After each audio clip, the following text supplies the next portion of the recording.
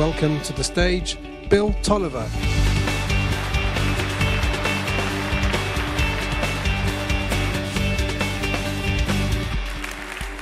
Thank you very much. Social media, just like all media, is going through an evolution. In a lot of ways, it's more oriented towards stimulation rather than information. It's more oriented towards a transaction rather than getting people to think deeply about something. It's more oriented towards the impulse. We have to ask ourselves a bigger question What would Nelson Mandela have done with the internet? What would Martin Luther King have done with just a smartphone? What would Gandhi have done with something as simple as a Facebook page? And what's amazing to me is even though we have all this technology, guess what? We still are trying to create what Nelson Mandela created. We're still struggling to find a way to mobilize people the way Gandhi did, the way King did. Think about that. The real question isn't what would Gandhi have done with Facebook? What would Mandela have done with the internet? The question to us is using those examples, what could we do with them? There's one organization out there, there are many, but there's one in particular called Peace One Day. Didn't even exist just a few years ago. Mastering the use of many different types of medium including social media, to create an incredible movement. To do what? To just have a day each year where there's peace. Let's look at a little video of their work. My name's Jeremy Gilley. I'm an independent documentary filmmaker. In July 1998, confused and frightened by what was going on in the world, I decided to make a film about peace. Then I realized there was no day of peace. That was it. I was going to try and establish an annual day of ceasefire and non-violence, a peace day with a fixed calendar date.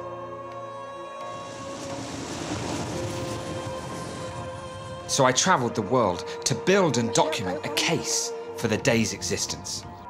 The day could be the beginning of a deeper process. It has the practical uh, impact of allowing access of humanitarian aid, access of information, uh, freedom of movement, uh, relief from the pressure and tension of not knowing where the next bomb or bullet may come from.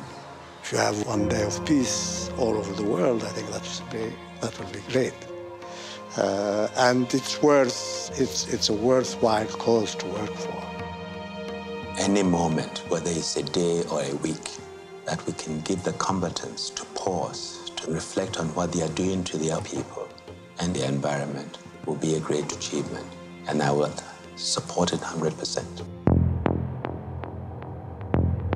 The United Kingdom and Costa Rican governments have now joined together. I think it's very, very important, and I love what we're trying for. The need for such an enhanced approach was originally brought to our attention by a UK based non governmental organisation, Peace One Day. This is a step forward in international relations. Be observed as a global ceasefire day. Let's stand up on September 21st and let's begin. May I take it that the Assembly decides to adopt draft resolution? It is so decided.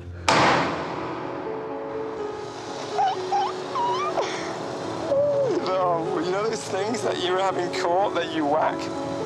They whack one of them. A peace day has been adopted by every member state of the United Nations. An annual day, separate from politics and religion, a day when every human being on Earth can become involved in the peace process. A day of global unity, a day when lives are saved.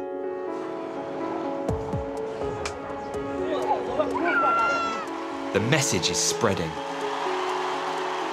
Over 100 million people in over 100 countries are marking the day today in many different ways. It's up to our generation to build the foundation for a united world. And it'll grow. It'll really grow if you get behind it. So please mark Peace Day, 21st of September, and lives will be saved. One individual may be small, but united and combined all six billion people, that will make a great difference. If you build a house, you start with one brick. If we want to build peace, why not start with one day? And that day has arrived. Jeremy Gilley's crazy. He's insane. He actually believes that he not only has the ability to mobilize the entire world to create peace, but he actually has the obligation to do it. A single man. He is one of the busiest people I've ever met in my life, and he's agreed to spend the day with us to talk about his work with Peace One Day. And without further ado, I'd like to introduce Jeremy Gilley. Thank you very much. Um, well, listen, it's a great honor to uh, be here, and I'd obviously like to thank uh, immediately IFC for asking me to be with you and sort of share this story. And in sort of 20 minutes, I'm going to just sort of tell you about the last sort of 12, 13 years. But as you know from that film, I, I was just frightened and confused and not really understanding what was going on in the home, what was going on in the community, and what was going on in the wider world. I mean, I couldn't understand the violence, the destruction. Should I have children? Is that a responsible thing to do? Is humankind fundamentally evil? Is the destruction of the world inevitable? I mean, I was just spinning out with those kinds of thoughts and wanting to do something, but having no skills. I, I don't have any qualifications. Actually, I do. I have a D in pottery.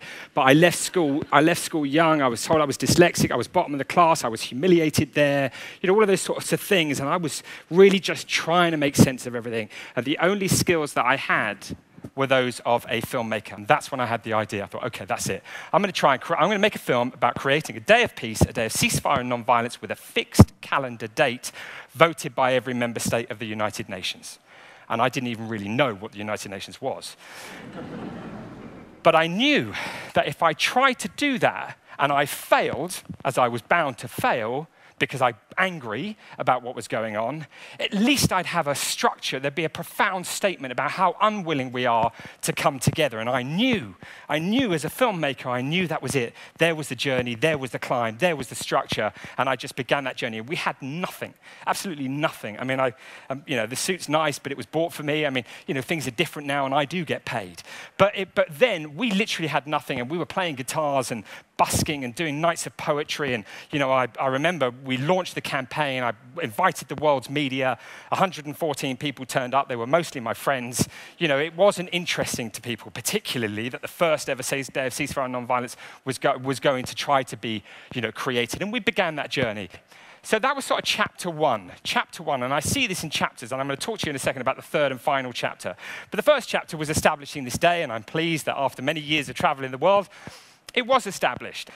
And I put that film out, and I could hear the cynics saying, "Yeah, it's just a day. It's just symbolism. It's not going. Nobody's going to stop fighting."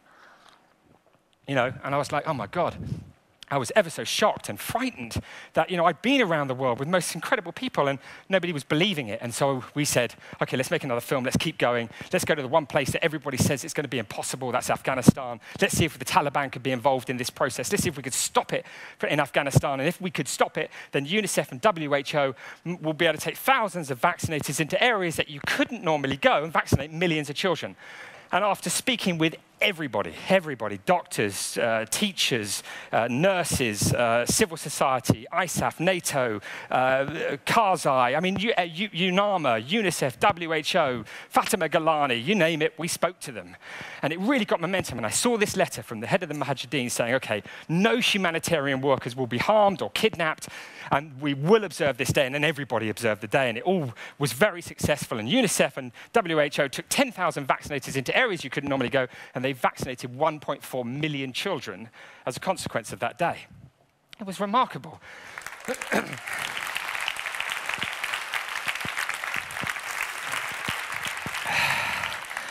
the final chapter is that we need to institutionalize that day. And I've been working with McKinsey recently. I didn't know who McKinsey were a few months ago, and the information I'm going to show you, I had no idea about this kind of information, but I'm now fascinated by it, and I'm as hungry to get a result as I was 13 years ago, if not more so. I am fascinated by the way in which this case study is unfolding to give as a vessel to new generation, you know, to kind of go, okay, well, he got that bit wrong, or he got that bit right, or, you know, know, and great if there was something wrong. Failing, jumping out, you know, being, being cool with the no is what it's all about for me, because that's where it becomes very interesting, I think.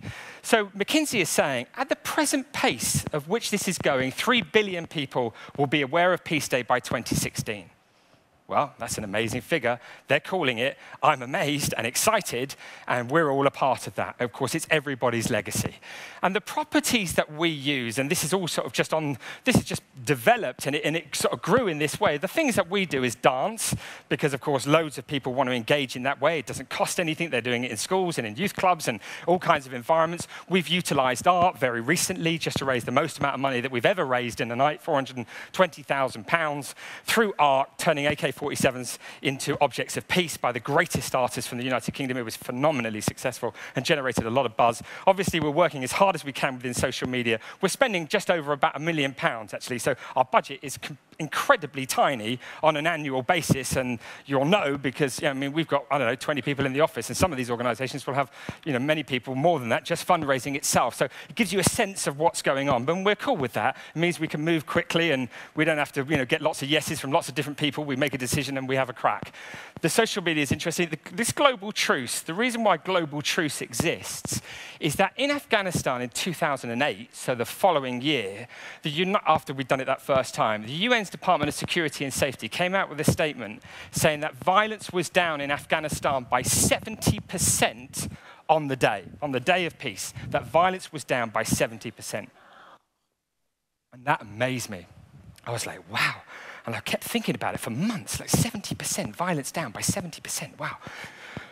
What if, therefore, we could create a day where we reduce violence on a global scale? I mean, if you can do it in Afghanistan, and that was the place that everybody said it was impossible, surely we could do it globally because, well, we, we, we, surely could. I mean, it makes total sense that we could. And that's what Global Truce is, was to say, okay, this year just gone, we will try to reduce violence globally and measure it by, by activating the most amount of people that have ever stood together in the name of peace. And that's what global truce is. And McKinsey are becoming fundamentally important to it about setting the marker of exactly where we were only weeks ago.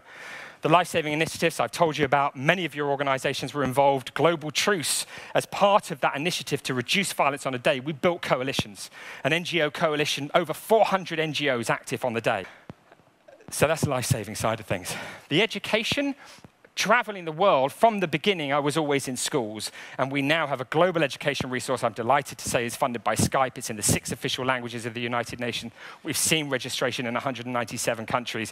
And when I sit with various people, the prosecutor of the International Criminal Court of Justice or whoever, and say, when is this place going to shut? And he says, when we give peace education you know, to every young person on the planet, when we give them the tools to become the peacemakers, to let them know that they can make a difference and that they can change the world and that their actions count.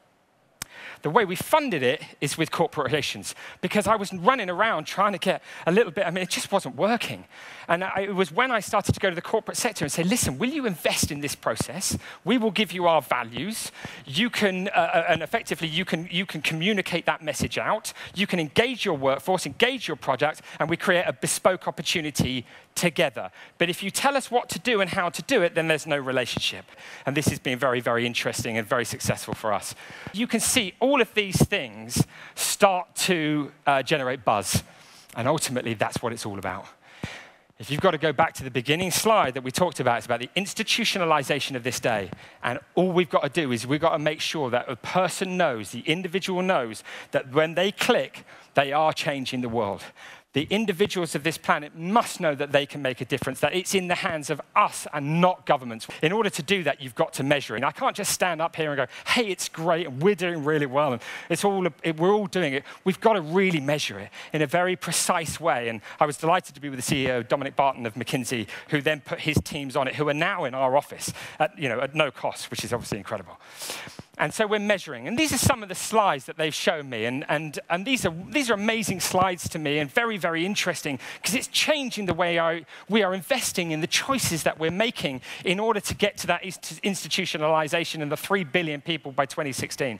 And this slide, this, this one I really love. This is the one that I'm thinking about on a daily basis and getting ever so excited about. This is the methodology of measurement. This, this is ev- absolutely everything for us as we go on this final phase. And it's also the most important thing to the individual, to the person at home who believes that peace is in the hands of the government. It's not. We know that. But in order to prove that, it's one thing to show a film and show that it worked in Afghanistan, but we have got to come up with a methodology of measurement that somebody can look at and go, right, I get it. I, I really get it. And so, therefore, what I'm saying and what I think in the same way that Coca Cola will show you a commercial to drink Coke, and some people will drink it or choose to drink it. What I'm saying is, and, and, others are, is that if you have got a load of people involved in peace on one day, as a consequence of that, there must be a methodology of measurement that says, well, if they're thinking about peace, then they're not thinking about violence. And as a consequence of that, you must be able to measure a decrease.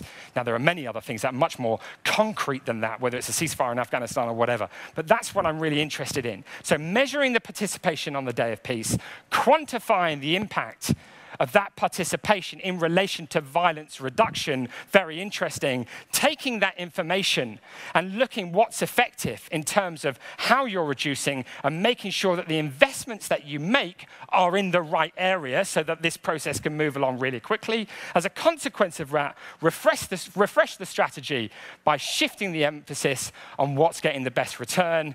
And then we're creating standards and metrics for the future, which means that we can move the, the needle we will institutionalize this day of peace. You know, we will see a reduction of violence. We can measure that. And, and as a consequence of that, of course, we will have achieved our goal. And that's why I think the corporate sector is willing to take that logo and put it on the number one brand in the world because of these highly relevant, driving discussion, positive reputation, you know, et cetera, et cetera. Well, look, I'm, I'm four minutes over what I should have done. I just want to thank, you know, the IFC again for letting me tell this story. Thank you ever so much. You're the key to the door of peace. Raise, raise as much money as you can. Thank you very much. Thank you.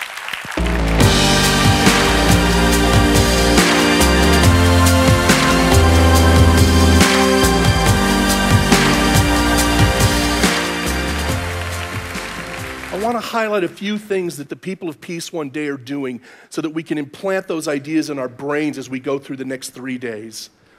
The first thing that you see is that this organization understands that nothing ever changes in the world until some catalyst gets a critical mass of the right people to commit to that change.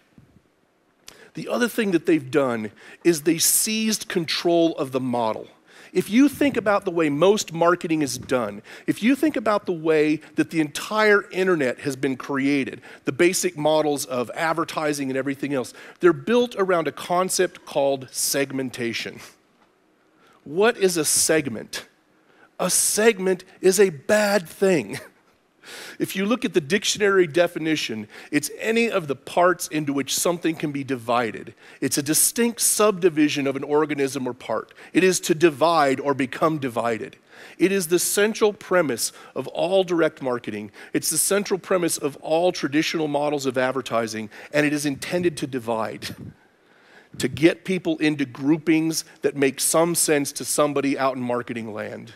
Instead, the people of Peace One Day said, we're not trying to segment. We're trying to not worry about how we might profile people and, and offer the points of distinction. We're trying to build a community. We're trying to build a community not from a shared location, but from a shared value system. And more powerful than anything else is joint ownership or participation. People that are part of the Peace One Day community feel a sense of obligation and ownership for their work. They're not just passively clicking like. So many people are measuring things on how many likes have I gotten? How many click throughs have I gotten?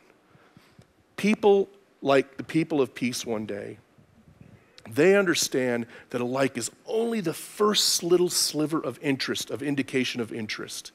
And what they've done a brilliant job is capture those people and find a way to cultivate them and develop them and turn them in so that they're not just liking something, but they're joining something. And then they're taking action in favor of something. And then they're being advocates for something. That's profound. That's powerful. This is our time. This is time for us as the internet and social media are going through all their external, existential manifestations and changes and angst. It's our chance to stand up, grab hold of it, and own it and take it somewhere. It's time for us to lead. It's time for us to stand up together for the next three days and learn and be inspired and go out and do it. Thank you very much for your time. Thank you so much.